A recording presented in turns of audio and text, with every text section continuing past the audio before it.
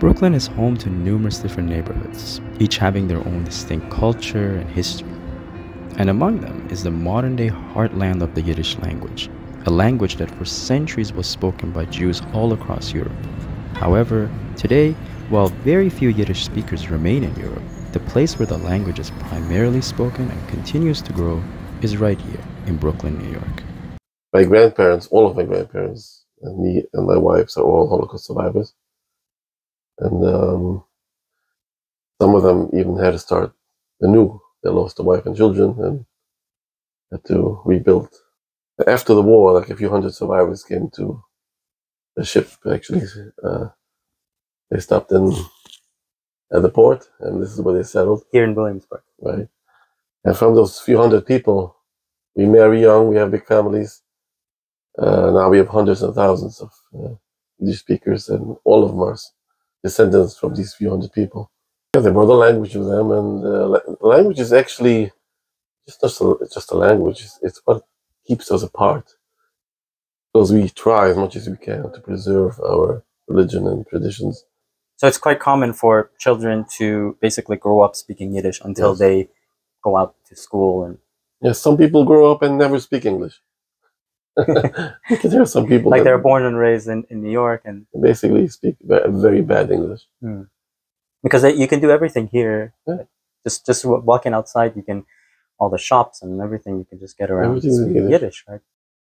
When it comes to like political views, uh, and I think a lot of people are mistaken about this that Hasidic Jews are anti-Zionist. They're anti-Zionist, but in a certain way we are against the idea of creating a Jewish state before the coming of the Messiah. Mm. So we try to distance ourselves from them. But, but not so. It's not that we support Hamas or, or organizations. You, yeah. So, or you want to destroy the state of Israel. No. But, yeah. I mean, we travel to Israel and we have our own communities there. Some rabbis believe that you're not allowed to have our own state, mm. regardless. Mm. So that's the Satmar point of view. Okay, that, that's like the general view that you would yeah. find here in, in Williamsburg, I guess, right? Whereas in Crown Heights, it's, it's very it's different. different yes, yeah. they have their own uh, yeah. different uh, way to.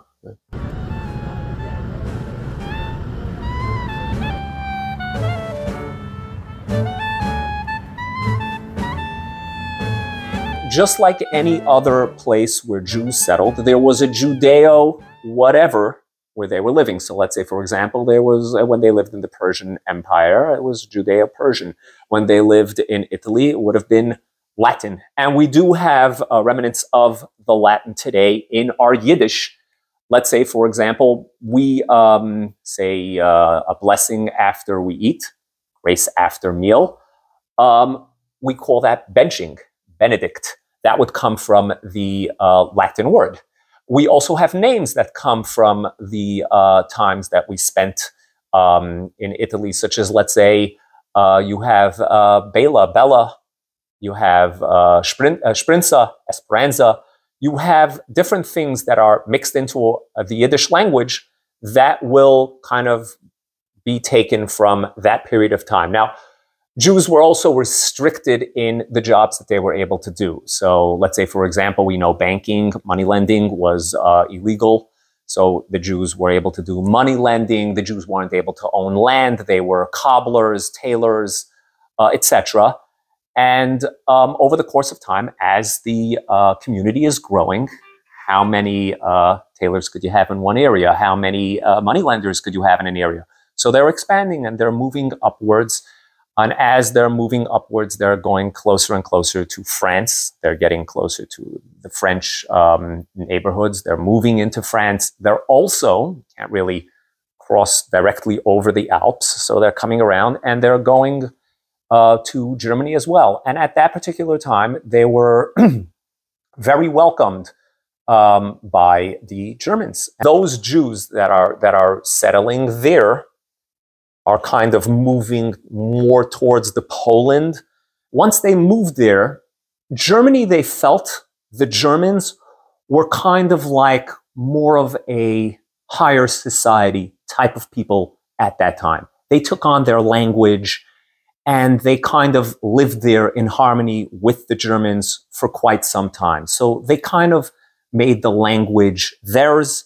Yiddish is comprised mostly of High German, uh, probably 70%, 65 to 70% is High German. The rest of it would be kind of like a mix from just wherever you are at that particular time. Besides that mush, you have 1500 years that the Jews were, again, you have the Jews living in Babylon. So you have the Talmud and all of um, those writings for that particular time are written in Aramaic. So you're going to find that Yiddish is mixed with uh, Aramaic. A lot of it's going to be Aramaic. So Yiddish isn't just the Mamaloshan, the mother tongue, or the Jurgan, the jargon that the Jews spoke. It's also going to be uh, mixed with um, um, it's, it's going to be mixed with uh, the Holy Tongue, Hebrew. You're going to find that a lot of it is mixed with Aramaic. 1500 years, we have the Talmud and uh, books like that written in Aramaic. So a lot of that's going to get mixed in there, as well as, let's say, when they were living in Poland or Russia, uh, you'll have words mixed in from Polish or Russian or even French. You know, if you look what happened in Germany before the war, most German Jews were assimilated. They were no longer um, religious because of Reform Judaism.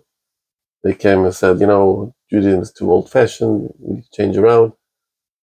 But then uh, a big part of Judaism broke off and we call ourselves Orthodox. Mm. But what it really means is original, unchanged.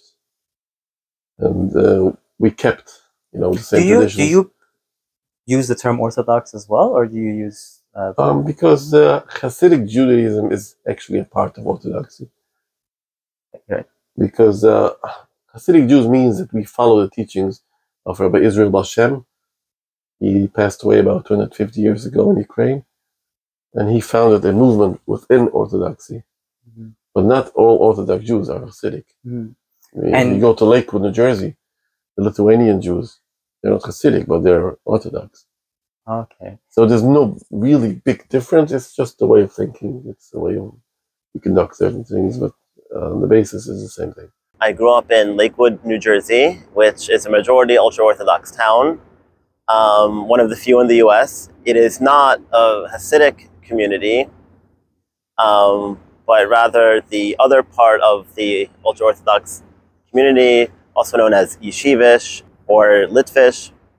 I grew up speaking both Yiddish and English at home. My dad spoke Yiddish to us. Uh, my mom uh, talked to us in English. In school, we also had a mix of both. I spoke English with most of my classmates, but most of the classes were given in Yiddish, so I grew up with both languages. About the Yiddish language and culture in the post Holocaust era. Um, the history of Yiddish before that in a nutshell.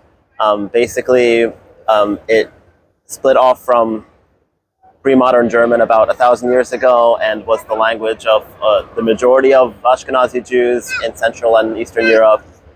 Um, the Holocaust destroyed a lot of that, obviously. And when a lot of Yiddish-speaking Jews emigrated to the U.S., um, they brought their language with them the majority of them um, stopped speaking it or you know didn't teach their kids the language, especially those who wanted to assimilate into American culture. The um, main exception to that is the ultra Orthodox Jewish community, um, which for the most part only immigrated to the U.S. after the Holocaust. So prior to the Holocaust, there was like a flourishing Yiddish culture, um, including you know Yiddish theater. You know, there were plays. There were you know drinking songs in Yiddish.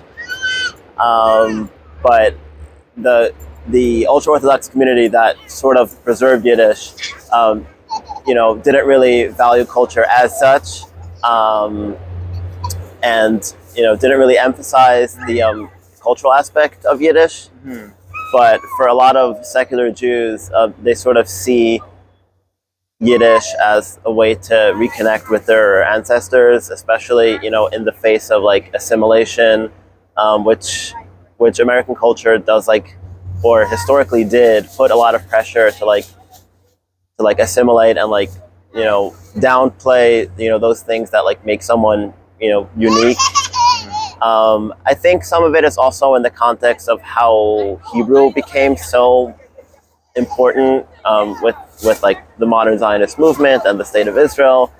And hebrew was taught in, in, in most jewish schools and, and it is sort of like a jewish lingua franca today and I think some of the rediscovery of Yiddish is a way to say that there's an, an alternative to that, and there's you know other forms of of um, you know Jewish linguistic identity and, and culture that, that we can be proud of. In almost every diasporic community that Jews have lived in, they've ended up speaking by a natural process their own sort of Jewish version of the local language. So there's Judeo-Malayalam and Judeo-Farsi and Judeo-Sicilian. And there's Yiddish, which is a kind of Judeo-German, although of course with a lot of other influences.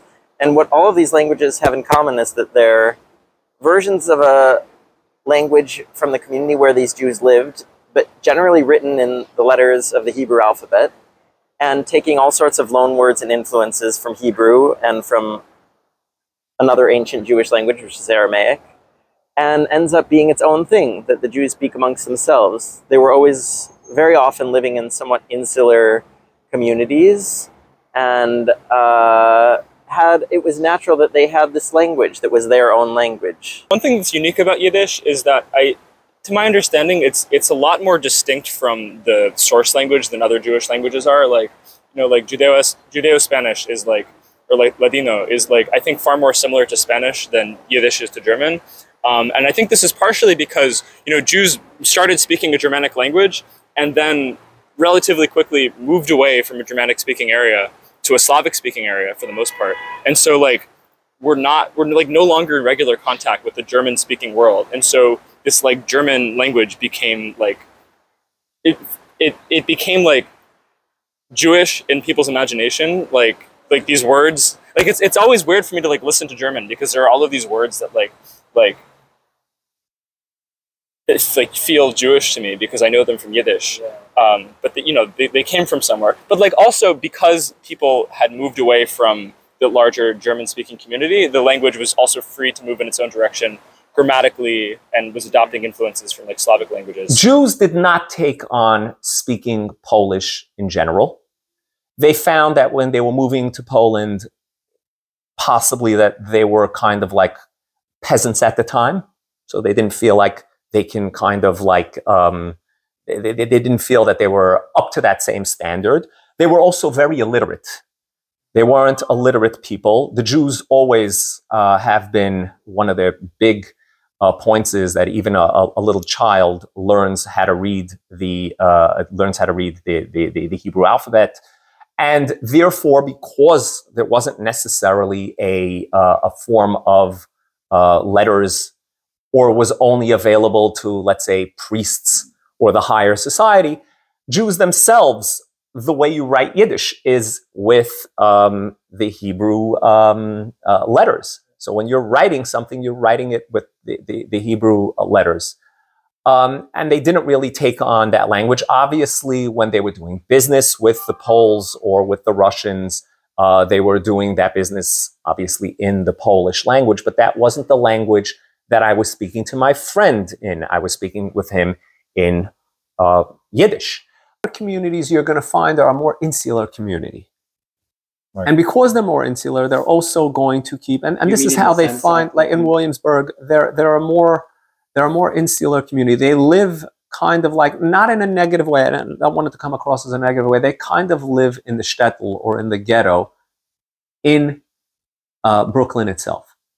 Between themselves, they will be speaking Yiddish. We want to stay separate and live our own lives and carry on the traditions and as, as long as possible. And Yiddish plays a big role. Of course, because if, if you have if you talk the same language like everybody else, it's very easy to to assimilate. But if you have your own language, your own keeps you apart. Mm. Not because we hate others, it's just to protect ourselves. in the community that lives here, the Satmar Chassidim and other Chassidim like them, there's a, a a real emphasis placed and a real value placed on tradition and the way things have been done by ancestors are the way things are meant to be done. To me, it sort of reminds me of this teaching that we get by the rabbis about the Jews in Egypt, why they were worthy of redemption from slavery, how they held on to some identity after all these years of bondage. And they say that they remained who they were, they remained a recognizable pe- people because they didn't change their names or the way they dressed or their language. And that's an ancient rabbinical precept. And to me, uh, I, I think about Yiddish in those terms also, that Jews didn't change their language or won't change their language, and that connects them and that gives them some sense of continuity. So that's the case for the Jews here that they hold on to this language as they hold on to their dress, as they hold on to names that have been passed down in the community, and um, are a strong community today, uh, despite the ravages of the Holocaust. A lot of the people here living had parents or grandparents who were killed in the Holocaust, uh, but came here and sort of adopted Yiddish as the language of this community uh, that they would speak here in Brooklyn, this shtetl in Brooklyn, as sometimes people call it. the reason why Yiddish actually became a thing. Like, like you you you move to a country, right? You you just speak the language of the country. Why they had to maintain their own language, right? Why they had to maintain um, the Yiddish. So it's a lot of it is like levy was mentioning that there was there was anti-Semitism. So if you the Jews they were um, not allowed to do a lot of professions, they were not allowed to to own land. They had to do business a lot within themselves. They had to live in a certain place, a ghetto, you know, like a wall place. Only there they were supposed to live. All these things. So they were staying among themselves. A lot of it among themselves. They're dealing among themselves. They are talking among themselves. They're not going out so much. They're going out to the community to do business, to do different things, but they're staying more um, among themselves. So that creates a need, not a need, but just a consequence. It's just, it's just uh, everybody's among themselves. So they are talking their own language. They're not talking the language of, of the land. Till the Holocaust, about um, 90%, would you say 90% of the, the Jews? I, would, I would say more. I, I would say probably uh, the the 18 uh, the late 1800s, 1897, 1898 census would say that um, 97 to 98 percent of Eastern European Jews spoke uh, uh, Yiddish. Uh, and um, the census will also say that uh, pre World War II, about 11 and a half million Jews spoke Yiddish as the first language. as their first language. Today, the numbers that you're discussing would be there are about a quarter of a million Yiddish speakers in Brooklyn. There's another quarter of a million, and pretty much mainly the Hasidic Jews, the Hasidim. You'll have another quarter of a million Yiddish speakers in Israel. And that's pretty much your half a million Yiddish speakers. Maybe you'll have another 100,000 throughout the entire um, uh, world, which I think th- those numbers are actually accurate. So today, I would say that you probably have about 600,000 Yiddish speakers, and mainly in those two areas, um, versus you're going to have probably nine and a half to 11 million Hebrew speakers. Those numbers were different, as we were discussing before. The European numbers of Yiddish speakers was 11 million. There were 11 million Yiddish speakers um, pre World War II. Everybody was pretty much all the Euro- Eastern European Jews were speaking Yiddish. That was about 11 million people. Today you'll have that same 11 million, but it's going to be speaking Hebrew. I find that a lot, and, and this is just my opinion, one man's opinion, that Yiddish, except for by the Hasidic community, got replaced by Hebrew. Yiddish, uh, tragically so, in terms of not in terms of having our own language, and not tragically because Hebrew exists, but tragically because Yiddish is such a gem of a language. Because we have our own uh, educational system. You don't send our children to the public school. Mhm. So that the school that your children go to is is Yiddish only. And uh, we speak only Yiddish to them. Uh, so it's preserved because we grow up speaking only Yiddish, separate for boys, separate for girls. You know, go together, and uh, yeah, so we end up Yeah. speaking only only this language. Yeah. Even though we learn it as a second language, it's Yiddish is still we call it the Mama Loshen, the mother, the mother tongue. tongue, yeah. Yeah. like up Yeah. until 80 years ago, um, the majority of Jews spoke Yiddish as their first strongest language um, and lived in communities where people were not necessarily religious. They lived, they lived, being secular. yeah, they lived like largely secular lives. Like they, they, they still like live within tradition. Like this, like there are things like a religious tradition was alive. It wasn't necessarily thought of as being religious. It's like what you do as a Jew. Um, but you know, like there, there, there was a time when like the, the masses, you know, like the, the, the, the poor working masses of Jews spoke this language, you know, kind of like not as a matter of principle, but because it was their language. First of all, why um, why people don't speak? There's some people that speak the Hasidim speak Yiddish, and other other Jews don't. But back in Europe, everybody spoke. Like, so what exactly changed? Yes, you could say, at least in my opinion, how I see it, there is there was no need really so much. There, was a need in Europe for Yiddish because there was anti-Semitism and all that, and you need to be within yourselves, and you had to, you know, so you you needed the Yiddish there. When they came to America, they didn't really need the Yiddish. So like even my family, I mean your family, your parents are Russian. Um, my grandfather um, was Lithuanian. My grandmother was from the outskirts of Odessa. So you have that. Then from um, from uh, my father's side, What what Yiddish spoke by the way? so your, grandma, your grandmother. my grandmother's every every accent's going to be slightly different. My grandfather spoke a very uh, good Lithuanian Lithuanian Yiddish with the the shins and the sins. They they they they uh, switch the sh for the s and the s for the sh. So he had that, but his Yiddish was a really great Yiddish.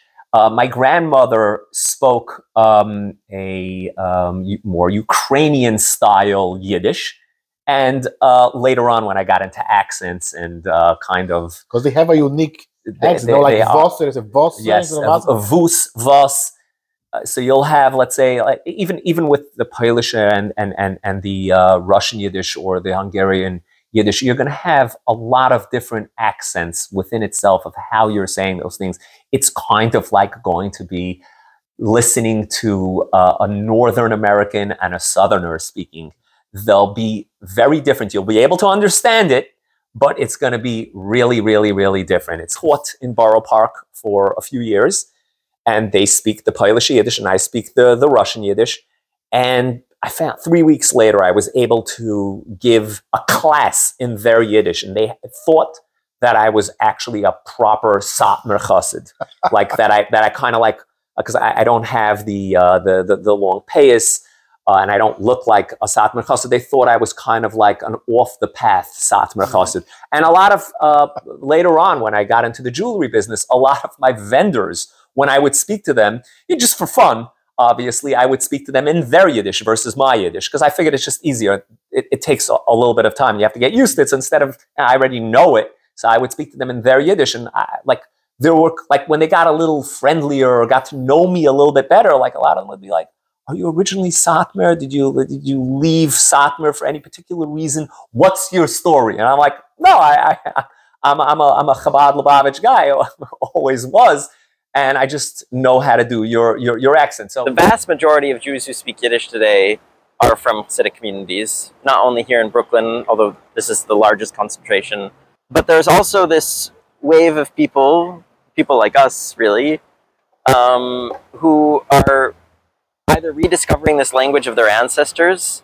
people who spoke the language maybe just a couple generations before, or other young people who have just taken an interest in this language and this culture and uh, see themselves, a lot of these people, as in a way sort of inheritors not just of the language but of the whole secular culture and civilization, literature that arose in this language, especially sort of beginning in the 19th century, kind of the birth of modern Yiddish literature. So these are the people, whether they're in the academy or just young people learning it and speaking it in their sort of social circles, that are uh, by and large reading Yiddish literature today that is sort of modern secular Yiddish literature and engaging with it. I, I was in the summer program in Vilna, and it was very powerful because we were in this former homeland for Yiddish in this Jerusalem of Lithuania, as Vilna used to be called, a place that is largely Yiddish free today. The Jews were exterminated. But for you know, six weeks in the summer, Yiddish could be heard often on the streets among young people. And we would speak it and we would sing Yiddish songs and we would feel connected to our past and our present and our future in a very special way. And then there's there's a question of like what like Yiddishism, like what future Yiddishism has, because like you know it, this is this is a it's this is a kind of a counterculture. It's like a group of people who have like made a choice which is like in some way unnatural, which is like you know like I have friends who like I we both speak English natively, um, but when we see each other we speak Yiddish, and like this you know this is a thing that it's not that it takes effort, but it's like it's it's a conscious decision, and I think that it's like in a way sort of like it's conscious in a way that like you know people on the street in Williamsburg just like not even like like there's not even a question. Like of course they're going to be speaking Yiddish with, with each other because that's their language. It's not a language as a matter of choice it's their language because it's their language.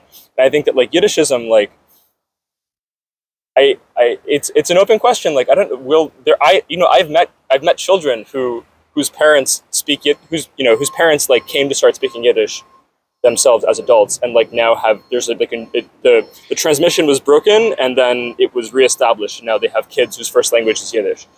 Hebrew is considered the holy like language. Uh, a lot of people in Williamsburg, especially, uh, encourage Yiddish to be the spoken language, right? Yeah, they're kind of like Yeah. kind of like there. There's also eventually they uh, Hebrew today Ivrit um, is kind of like a modern form of the holy language. Um, they are not necessarily um, uh, Zionists, so they're continuing to speak in their original mother tongue, Yiddish. Um, and like I said, because they're living in the United States, there will be a lot of uh, English words that are mixed in there, but they're not necessarily um, learning Hebrew or using Hebrew uh, because it's kind of like it represents the Zionist ideas um, and ideals, and um, the words that you're kind of using, um, if are are pretty much eighty percent, I would say, based on uh, the holy language, which is reserved for prayer or Torah study, etc. Most Jews, the, the secular Jews, they right away drop it because they came to America or they came to Brazil. You don't need it. That's it. You know. Uh, some Orthodox Jews also drop it, like see this as something that you have to fight for. You know, well, that was the language they spoke in Europe, but now we're not in Europe anymore. We could speak English, and it's fine. It's so it's enough that we are Orthodox, that we follow the Torah, we follow our our customs, um, and that's it. We don't really need the extra thing that is Yiddish. Now the Hasidic community they they, they kept it. They kept it more. Um, you know, it's it's it's something that we we we are proud of, something that we speak, something that was was was our identity in Europe. So we kept it over here. We continue over here. Now between the two communities, you're going to be visiting be visiting uh, Williamsburg and and you are now in Crown Heights. So the difference between both of them, I would say that Chabad Lubavitch is a more open community. So it's a more open community. So people come, and the language that everybody speaks is English. So became more of a of the language that people speak is, is English in, in, in this community. So you're gonna go to the street, you're gonna hear English. You're gonna hear you're gonna see two kids in the street talking to each other or playing, they're gonna be talking in English, not not in Yiddish so much. Um, people still speaking Yiddish. The, the schools they teach, uh, they translate the, the texts into Yiddish. So the, the boys, they, they, they the kids, they, they end up having um, maybe not so fluent like the kids in Williamsburg, but they do understand and they do speak. If you're going to go to Williamsburg and Borough Park, it's more ingrained and it's uh, since that there's not so much newcomers, so they kept it as it is and they speak. Um, and you know it's it's a beautiful thing you know like you come to a new country you know, just you, there's no law that you have to take away the the customs and the language and everything that you had before you could keep it you know you uh, of course everybody has to i i believe everybody has to be respectful to the country that they live you know and um so so like everybody speaks english everybody um, is american they, they they are american as it is but they speak uh they kept their own language.